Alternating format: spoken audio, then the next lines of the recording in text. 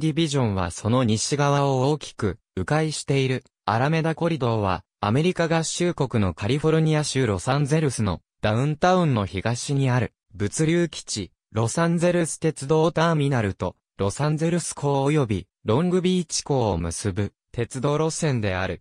アラメダ街道に並行して作られた掘割の中を。通る。延長20マイルに及ぶ。貨物列車用路線であり、貨物列車用の高速道路というべきものである。所有者はアラメダコリドー輸送公社。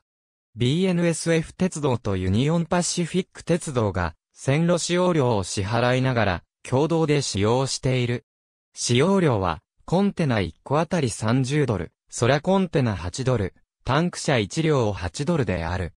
海上コンテナを2段積みしたアメリカの貨物列車。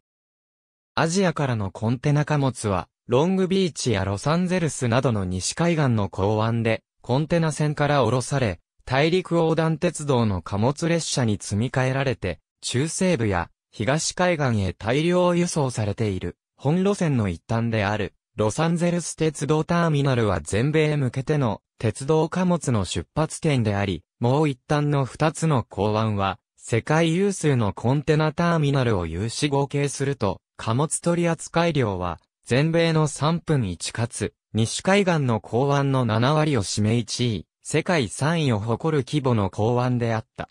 そのため、従来より、両地点間での貨物輸送は盛んであったが、その区間がボトルネックとなっていた。鉄道は単線かつ設備が古く、市街地を走行するため日中の運転本数に制限を受けるなどの問題があった。長さ1マイルもにも及ぶ貨物列車の速度が遅いことから、踏切が閉まっている時間が長くなって激しい交通渋滞を招いていた。荷主からは物流速度の向上を求められ、両港湾のコンテナ取扱量は30年間で3倍に増えることが予想された。また、鉄道だけではなく、トラックでの輸送も多く、排出ガスによる公害が問題視されていた。これらの問題を抜本的に解決するために、計画されたのが、本路線である。従来、両地点を結ぶ鉄道路線は、現在のアラメダコリドーとほぼ同じルートのサザンパシフィック鉄道 SP。現アップ参加の路線が2本と、その東側に並行するアップの路線、その西側を大きく迂回する BNSF の路線の4ルートがあった。その総延長は90マイルにもなった。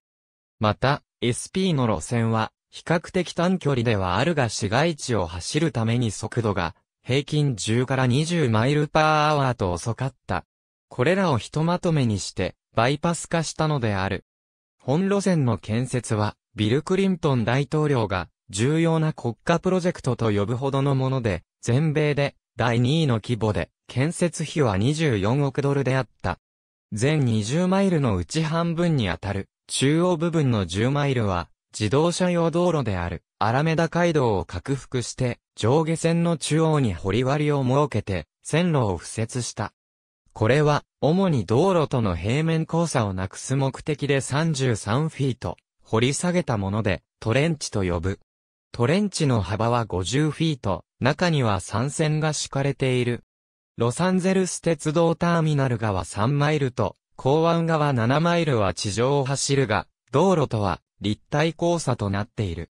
計画は1980年代初頭よりあり、1982年には調査を開始、1989年には、アクタが成立した。1994年12月には、ロサンゼルス港湾局とロングビーチ港湾局は、SP からアラメダ通りに沿った路線2本のうち1本を4億ドルで買い取った。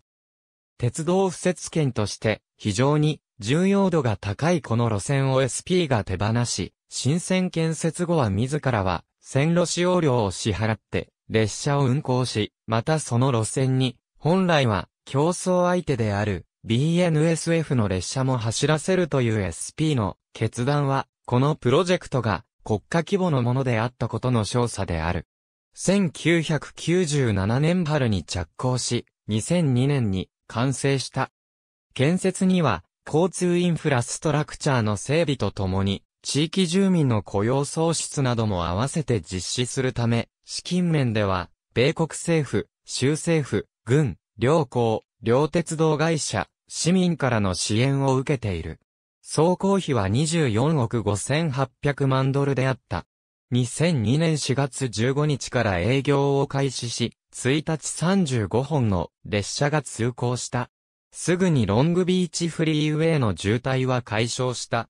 2005年の前半4ヶ月間に5434本の列車が運行し、トラック90万台分に当たる貨物を輸送した。アラメダコリドーの堀割上空から見た、アラメダコリドー。画面中央上部から右下に向かって、道路と並行して伸びている。コンテナ列車が走行しているのが見える。以下、開通前と開通後の数値を記述する。なお、ロサンゼルス鉄道ターミナルと両港湾を結ぶ、アラメダコリドー以外の3ルートは、火製品や原材料等の一般貨物を積載した列車が運行されている。アラメダコリドは両港湾局が取得した路線では、あるが、アクタに無償対応している形となっている。ロサンゼルス港のカルトランスとロサンゼルス郡都市圏交通局は、沿線から粒子状物質を削減するために、鉄道の電化計画を発表した。港湾の発展により、アラメダコリドを利用する列車が増加すれば、それだけアメリカ東部に向けて運行される貨物列車は増加する。結果、ロサンゼルス鉄道ターミナルから東に向かう路線が愛路となり、また平面交差する踏切での道路の渋滞を増加させる原因ともなる。その範囲は、ロサンゼルス鉄道ターミナルから東へ80マイルにも及ぶと考えられており、アラメダコリドをその区間にも延長する計画がある。